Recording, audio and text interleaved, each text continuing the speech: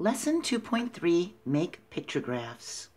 If you haven't seen 2.2 on how to use a pictograph, it's linked in the description for you. We can draw a pictograph to show data in a table. A pictograph uses small pictures or symbols to show and compare information. We learned that in the last video, 2.2. When we make a pictograph, we write the title at the top using capital letters for each word. We put the name for each row, whatever the topic is that we're talking about. So our choices for favorite ice cream would be chocolate, vanilla, strawberry. You could even have pistachio or butter pecan or another flavor that you want to put in there. We choose a picture or symbol for the key that is easy to draw or use. I'm going to use green dots when I make my pictograph. But you could use any of these symbols or pictures or come up with ones of your own.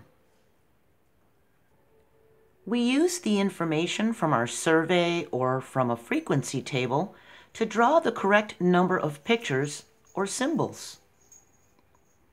If our frequency table, which we learned about in video 2.1, shows 8 for chocolate, 4 for vanilla, 2 for strawberry, then that's how we would finish our pictograph.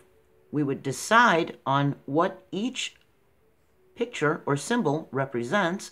I'm going to have them represent and stand for two people when I make my pictograph.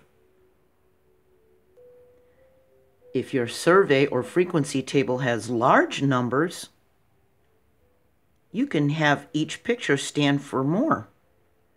But mine are going to represent two people for each green dot. I have eight chocolate, four vanilla, and two strawberry that people said they liked. And because I have an eight, a four, and a two, we can use groups of twos. We can skip count two, four, six, eight. So four green dots for my pictograph would equal eight people that like chocolate.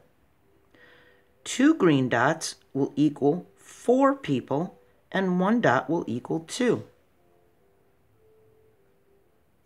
If the numbers from our survey or frequency table are 3, 6, and 9, we could use groups of threes. One symbol could be 3, two symbols could be 6, and three symbols or pictures could be the 9. If the numbers are 5, 10, and 15, we could use groups of 5. And my numbers were 8, 4, and 2. If the numbers are 8, 4, and 2, we can use groups of 4s and use a half symbol for the 2. Each green dot could be a 4, so we would have 4 and 8. One of them is a 4, and half of 4 is 2, so we could say half of a dot is equal to 2. We can use whole pictures or symbols or half pictures or symbols to represent the amounts.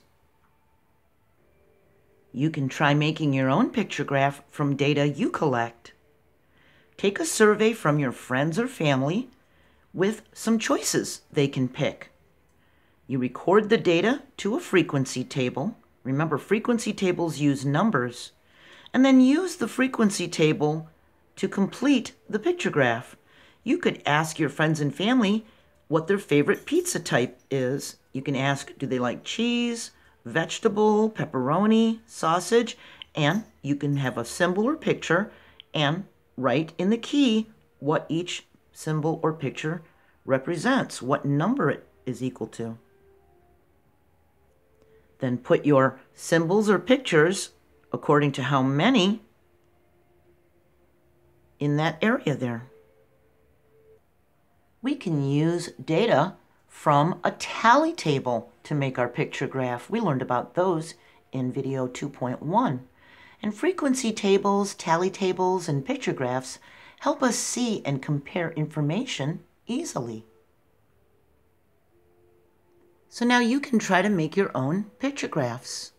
We're going to talk about bar graphs in the next lesson. I hope I'll see you there, and I hope you have a really good day. Bye.